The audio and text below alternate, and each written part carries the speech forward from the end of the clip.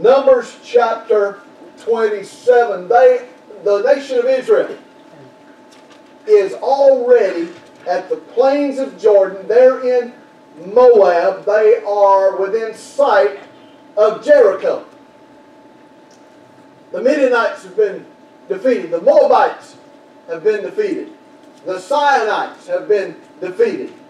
The people of Bashan have been defeated. Just a, a few days, I'm convinced, of going across the Jordan River and going up against the city of Jericho.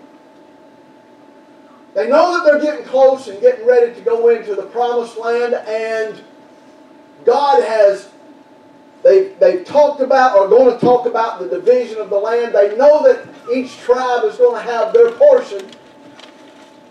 But there's a, a man by the name of Zelophehad. Zelophehad had no sons, but he had five daughters. Those five daughters came up and said, Yeah, I know. Why did he have five? Because he didn't want six. Right. Um, those five daughters came up to Moses and came up to Aaron. And they had a question. If you're able to stand in respect to the Word of God, I'm only going to read about three verses of Scripture. Numbers chapter 27, verse number 6. And the Lord spake unto Moses, saying, The daughters of Zelophehad speak right. Thou shalt surely give them a possession of, their, of the, wait a minute, a possession of an inheritance among their father's brethren, and thou shalt cause the inheritance of their father to pass unto them. And thou shalt speak unto the children of Israel, saying, If a man die and have no son, then ye shall cause his inheritance to pass unto his daughter. Thank you. You can be seated. Let's go to the Lord in prayer this morning. Father, as we come to you again, we thank you for the day that you give us, for the way you took care of us, for the way you watched over us, for the way you supplied every need. God, you have been so good. I know that every good thing I have is from you, and you've been better to me than I have deserved. I want to thank you this morning for the health and strength you gave us just to get up out of the bed, put our feet on the floor, and wash our own face and feed ourselves. I thank you for safekeeping from harm and danger, both seen and unseen. I thank you, Father, this morning for the privilege we have to be back in your house, and I thank you for each one of these that's come out. I thank you, Lord, that we've got this time and this opportunity to come and meet together again. It's always a privilege to worship together in spirit and truth. But Father, I thank you this morning more than anything for saving me. I thank you for Jesus. I thank you for the blood that was shed at Calvary. I thank you, Father, that He did it all and left nothing out, left nothing undone. I'm thankful this morning that that blood was sufficient to cleanse me of my sin. I'm thankful this morning, Father, that it never has to be done again. I ask you, God, this morning, please forgive me where I failed you, where I've come short, where I've let you down. Forgive me for the things that I've said, done, and thought that was displeasing. I pray, God, you remove them and take them away, get them out of the blood. Thank you for the service already today. Thank you for the time in Sunday school. Thank you for the time in the prayer room. Thank you for the songs that were sung. Our heart's been blessed, and Father, we can leave now and say it's been good to be in the house of the Lord.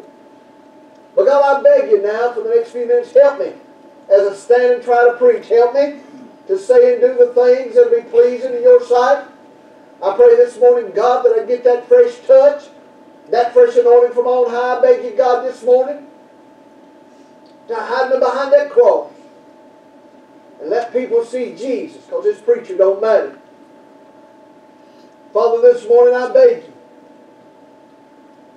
take away anything that might hinder a quench. I'm praying, God, you'll have free reign in this place. Watch my mouth. Don't let me say it wrong. God, only let me say and do what you'd have done. Go with us now through the next little bit. Help me to do what you'd have done, for we ask it in the precious, sweet, holy name of Jesus. Amen. In verse number 1 of chapter 27, the Bible says, Then came the daughters of Zelophehad, the son of Hepher, the son of Manasseh, of the families of Manasseh, the son of Joseph. And these are the names of the daughters Mahlah, Noah, Hoglah, Milcah, and Tirzah. And they stood before Moses and before Eleazar. I, I said a few minutes ago Aaron, but Aaron had, had already died, and this is what they said. Verse 3 Our father died in the wilderness, and he was not in the company of them that gathered themselves together against the Lord in the company of Korah, but died in his own sin. Why should the name of our father be done away from among his family because he hath no son? Give unto us, therefore, possession among the brethren of our father. And, Lord, and Moses brought their cause before the Lord. Now I realize this morning that in a lot of situations, people will say that God is anti-female. I've heard the Apostle Paul called a, a sexist, chauvinist pig. I've been told I was the same way. Well, you know, I'm just trying to follow the book. Right. We look at this and you say, why would that even need to be addressed? I'll tell you why.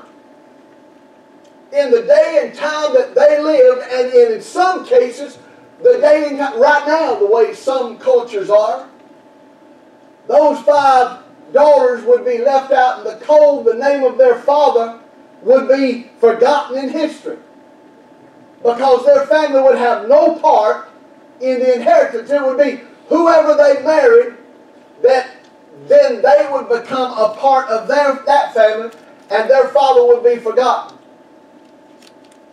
Now, in the day that we're living, some people still believe that way. But if you are following and rightly dividing the Word of God and following the truth of God's Word, it should not be that way. Now, listen to me. I understand what the Word of God teaches. There are to be no female deacons. There are to be no female pastors. Right. Uh, I saw something day before yesterday that I, I don't remember if it was Friday night or yesterday. I think it was Friday night. Used to be a man, and Mr. Hemphill could write some good songs. But Joel Hemphill had a daughter Still, well, he's dead. His daughter's still living. Yeah. Her name is Candy. Yeah. And I saw where Candy done chopped all her hair off and was now pastoring the church. And I'm going, how many generations does it take yeah. to get away from the truth? Now, you can say, well, preacher, that's your opinion. That ain't my opinion. That's the Word of God. Amen. She's got no business doing that. No more business. I don't care where Daddy was. Mm-hmm. She got no more business doing that than, than Gloria Copeland has. We look around, and yes, I will tell you, ladies, you need to dress modestly, but at no point am I going to tell you you need to wear a burqa and the only thing visible is your eyes. Right. My Bible tells me that a husband and a wife, bear with me, you'll see where I'm going in a minute. My Bible tells me that a husband and wife is actually, even though the husband's the head of the house, they're to be submissive to each other. Right. And that means your wife should not have to walk three or four steps behind you. Right. That you should have her beside you. And when she goes up and down steps, you help her. You open the door for her. That's not just the door going into a store. That's the car door. Hello. Yep. Front door of the house. Yes, sir. Hold that door open. Let me tell you something today. You say whatever you want to. We can say, ladies, that you are, and this is not really a Mother's Day message, but ladies, you can sit back and you can say, but God has relegated us to second place. No, sir.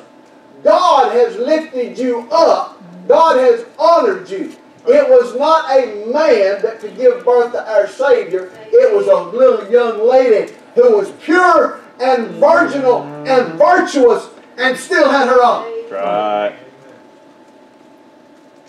So let's just look at this a minute. the daughters of Zelophehad came to Eleazar and Moses and said, Hey, why should our daddy's name be forgotten? Just because we were born female. Moses said, I'll take it to the Lord.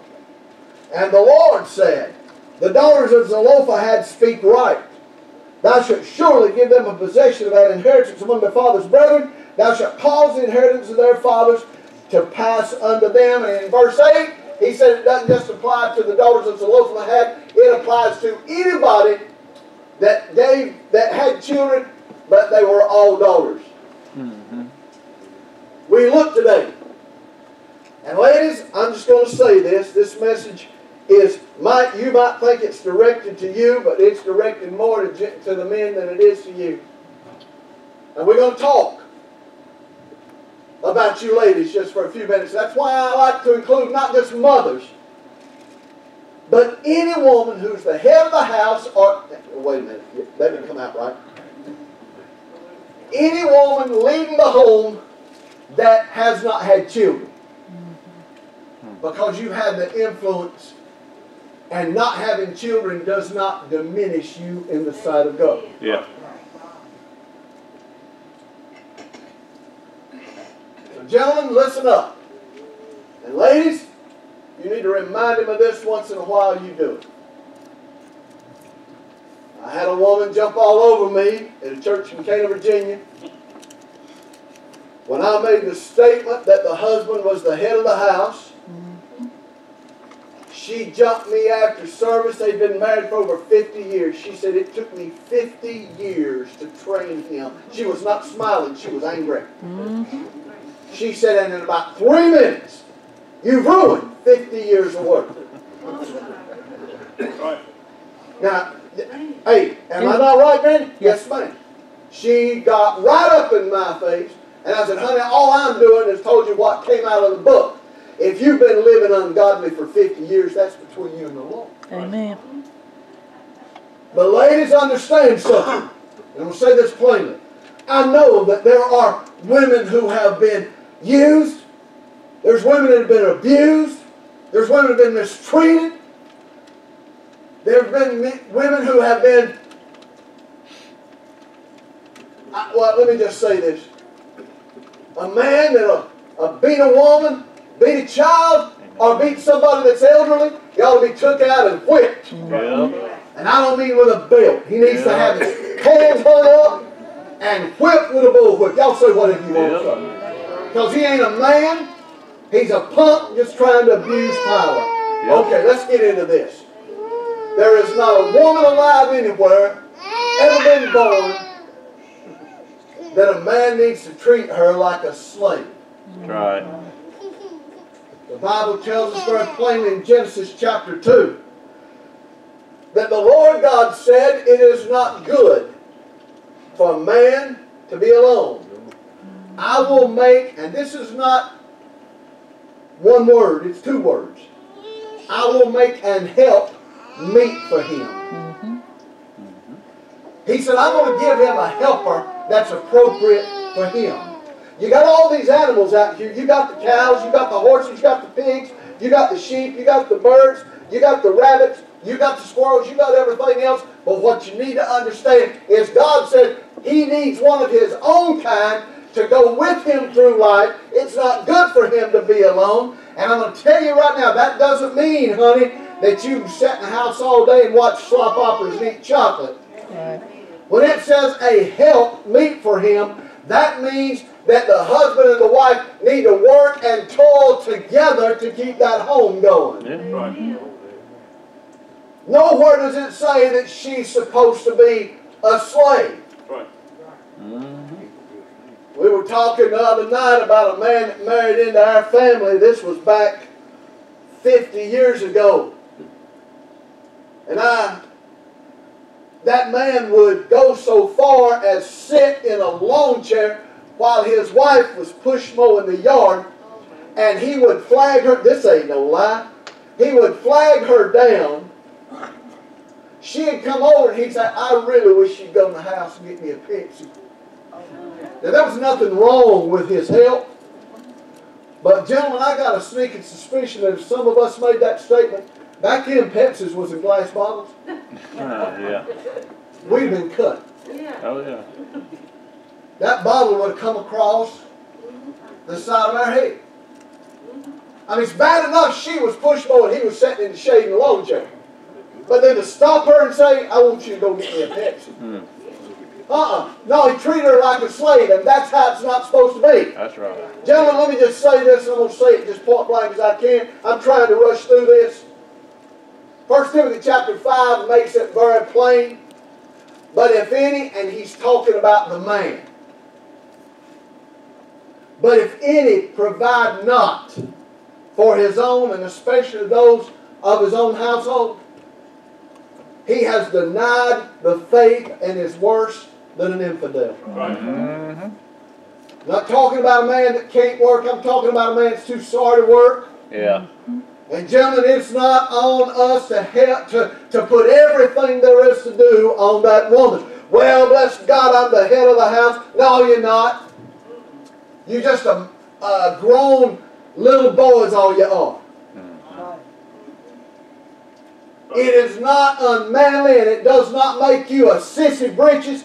If she's had a tough day, help her wash them dishes. Or tell her to go in there and sit down and watch the news and you wash them dishes. Yeah. It ain't gonna hurt you Right.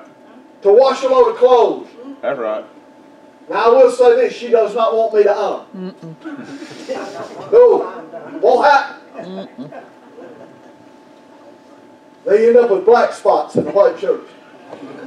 But let's do it. Oh, we, we can chuckle.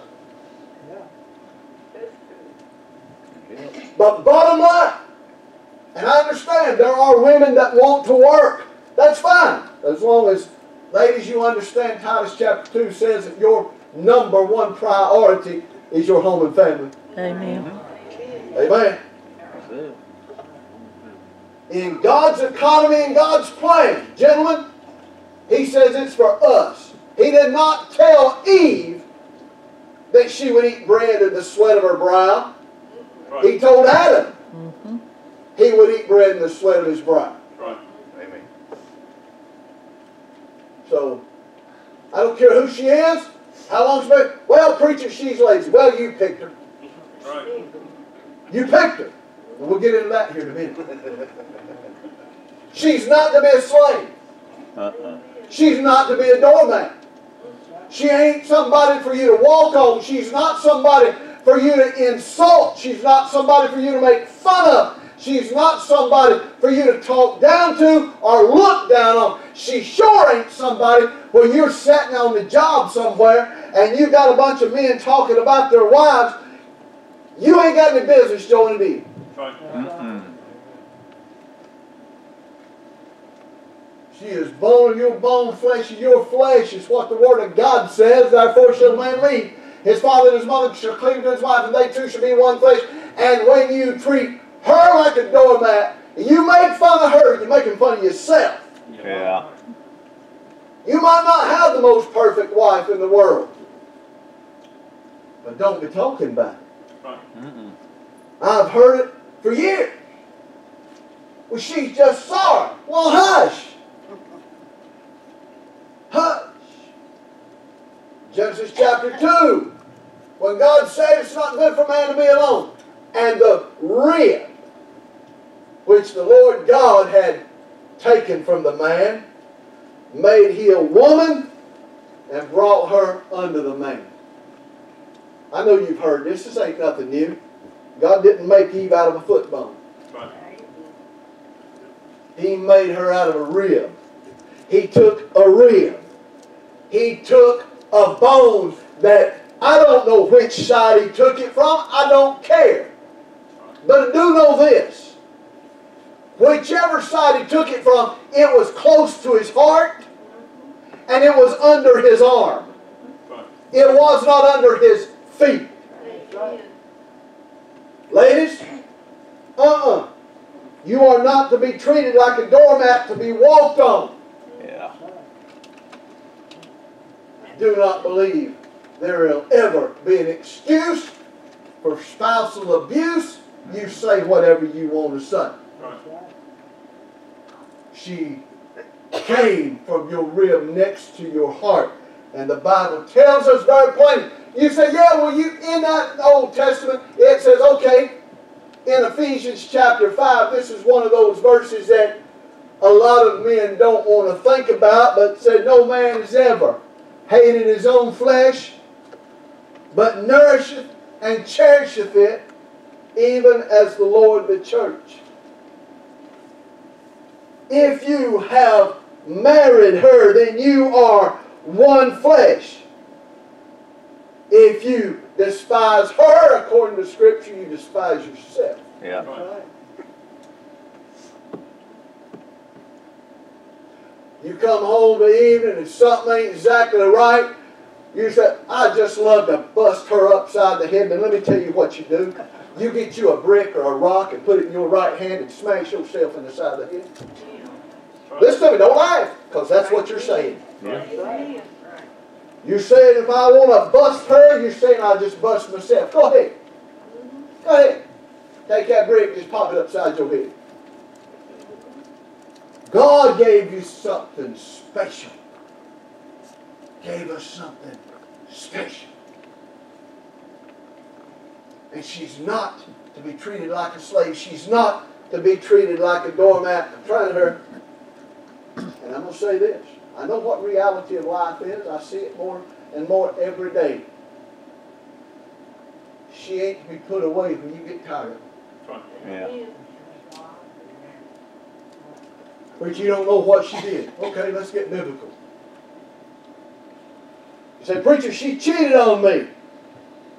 Well, if we was living biblical, we'd take her out and stone her. Mm-hmm. Mm-hmm. Oh, come on. They didn't divorce adulterers, they stoned her. Right. Hello? Yeah. You say, well, wait a minute. No, no, no. You wait a minute. I have told you before, I don't know what your wedding vows said, but I know what mine said. For better, for worse, mm-hmm. for richer, for poor, in sickness and in health. There have been times I didn't have a dollar in my pocket, and yet she stayed with me. There have been times we've both gone through sickness, and yet we stayed with each other. Has everything always been rosy and perfect at our house? No. But that's where the worst comes in. God said in Malachi chapter 3, the Lord hath been, now listen to me, before I even, even look at that verse, I don't think God approves of a woman leaving her husband any more than he does a man leaving his wife, but he mentions the man leaving the wife. Mm-hmm. That's the one he zeroes in on. Man's got less patience than most women have, and a man's a whole lot quicker to jump the car and go. The Lord hath been witness between thee and the wife of thy youth, against whom thou hast dealt treacherously. Why? Why would we pray for something bad to happen to our spouse, the mother of our children, the one that we were joined together with? Why would we want to see something bad or evil happen to them? Yet, is she thy companion? She is the wife of the covenant. You say, what do you mean covenant? Promise. Mm-hmm. She's the wife of thy vow. Now I know, me and my wife's both from Carroll County, Virginia, but we still, we wasn't so far back in the woods that her daddy and my daddy got together and said, well, here they are, let them go. No. No. We stood before a man of God Mm-hmm. and we made promises. Mm-hmm. She is the wife of thy covenant. We made promises. We made an agreement. And the Bible says on down in verse 16 of that chapter 3 of Malachi, God said, and I hate the very act of putting away. And you say, why would he do that? Why would he hate it? Moses allowed for divorce in the law that God gave. Moses allowed it. Jesus said, because of the hardness of your hearts. Mm-hmm. He said, but in the beginning it was not so. Right. There was supposed to be one man and one woman. I'm glad he didn't say two individuals. He said one man and one woman. Mm-hmm. He didn't say one man and one man. He didn't say one woman and one woman. He said one man and one woman. And that's as it should be. And he said now, he tells us very plainly, if you leave and marry another, except it be for fornication, and you want to split hairs, I'll split hairs with you. Mm-hmm. It does not say just sexual immorality, it says for fornication. Yep. We're going to talk about that after church, we will. Adultery is what happens when somebody that's married is fooling around. Mm-hmm. Fornication is what happens when somebody that ain't married right. is fooling around. You say, what's the difference? Big difference. You need an explanation? We'll talk after church. But he said, She is the wife of your covenant, and I hate the act of putting away, because Ecclesiastes chapter 5 tells us very plainly, Better is it that thou shouldest not vow, and thou shouldest vow and not pay.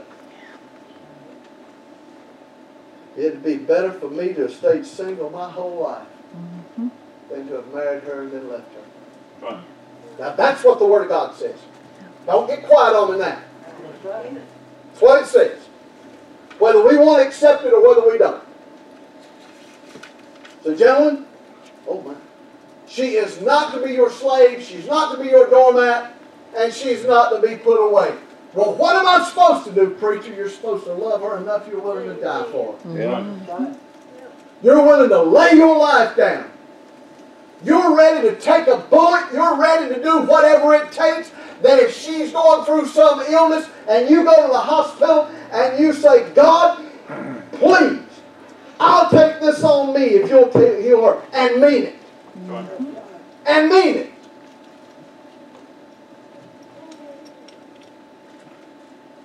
These women are supposed to be loved enough that us men will die for. Ephesians 5 25. A lot of men forget this verse in here too. Husbands, love your wives as Christ also loved the church mm-hmm. and what?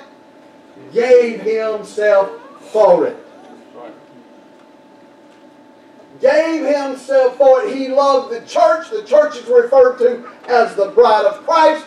He was willing to die for us. And gentlemen, we ought to love her enough that we're willing to die for her. Those daughters of Zelophehad said, We got nothing. As, as daughters, we have no rights. We have nothing to look forward to. All we're going to be is just whatever our husbands allow us to be. But God's Word says that ain't how it's supposed to be. Not a slave, not a doormat, not put away, but loved enough to be willing to die for. I'm finishing with this right here. Philippians chapter 2. We know how it goes that God has highly exalted him and given him a name that's above every name. And I'm thankful for that. The Bible also says that being formed and fashioned as a man, he humbled himself and became obedient unto death, even the death of the cross.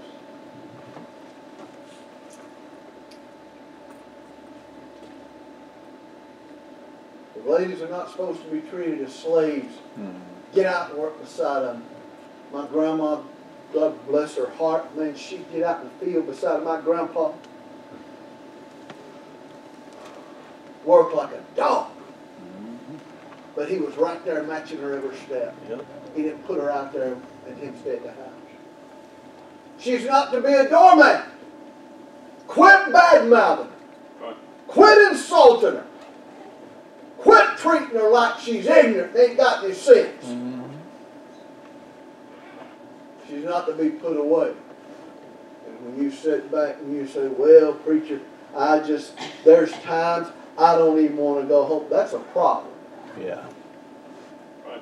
Now, there was, there's been times in my life that I would get in the car and drive around before I got home because I didn't want to take it to the house. Wasn't that I didn't want to go home, but I didn't want to take my attitude home. You ought to desire. Your desire ought to be with her. Right. You don't love her enough that you're willing to die for her. The daughters of Zelophehad had said, We got nothing.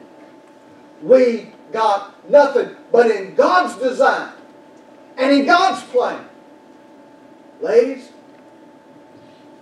He's lifted you up. Don't you ever think God's put you down. God's lifted you up. So this morning, here's the thing. If I'm to love her as Christ died for the church, as Christ loved the church, and I'm supposed to figure out, okay, why did Christ, how much did Jesus love for the church? He died for. Right. My question to you this morning, men and women alike, do you realize He died for you? Do you realize how much He loved you? Do you realize that He went to that cross while we were yet sinners? Christ died for us. Do you realize today we'll never be the, the man we're supposed to be or the woman we're supposed to be until we get Jesus Christ in our heart and life?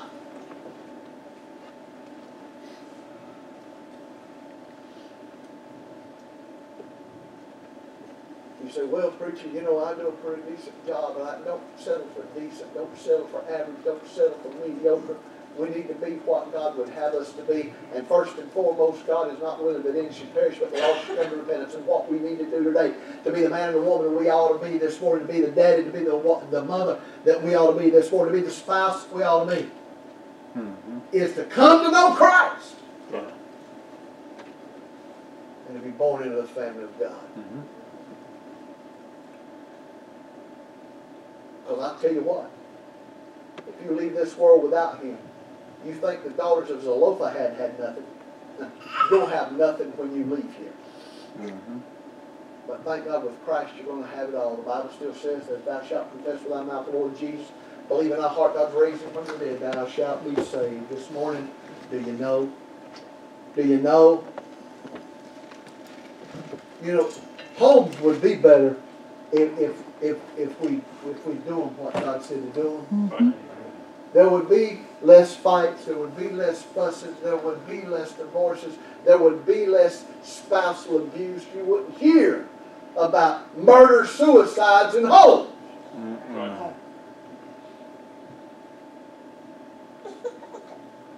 She has no business being a slave, a doormat, or put out. She is to be loved as Christ loved the church. But we can't have that love in our heart until we are born again. So this morning, ladies, are you the spouse you ought to be? Are you saved by the grace of God? Gentlemen, are you the man you ought to be? You'd never be the man that you ought to be if you get Jesus Christ in your heart. You think, well, preacher, a lot of these Christians are just sissies. If you don't think it takes that, I ain't even going there. You ain't gonna live for God to be a weak. I'll just say what you want. Mhm. Right. So today, God would have all men to be saved, come to the knowledge of the truth. And whosoever shall call upon the name of the Lord shall be saved. You make the choice this morning. Preacher, am I the man I ought to be? God, I need to be the man I ought to be. God, I need to be the woman you want me to be. But that has to start at the cross of Jesus. Father, we thank you for the day you've given us, watching over us and taking care of us. We thank you for supplying our needs. We thank you for help and strength. We thank you for the way that you took care of us. God, you've been better than me than I ever deserved. Father, I thank thankful this morning for the opportunity we have to be in your house, the opportunity we have to look at a portion of your word. Father, I, I pray this made sense, and I pray, God, that We'll let it into our hearts, soak it like a sponge, not let it run off our backs. God, I'm thankful for my wife, for the mother of my children. I'm thankful, Father, that your word tells us plainly how we are supposed to be.